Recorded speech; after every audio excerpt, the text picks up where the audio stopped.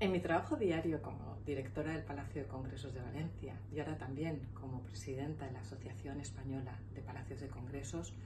busco promover la inclusión y la igualdad de género en nuestro sector,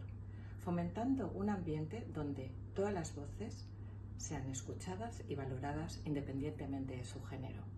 Además, mi estilo de liderazgo se basa en la colaboración y el trabajo en equipo,